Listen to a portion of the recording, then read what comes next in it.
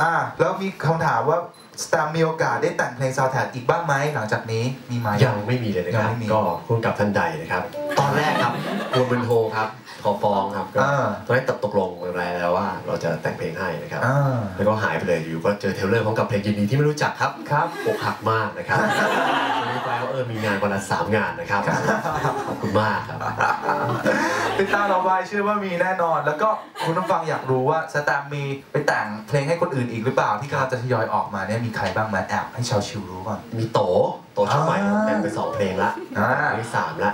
แล้วก็ล่าสุดมีอาร์มแชร์แล้วก็สุดหล่อเราก็เบลสุพลอ่า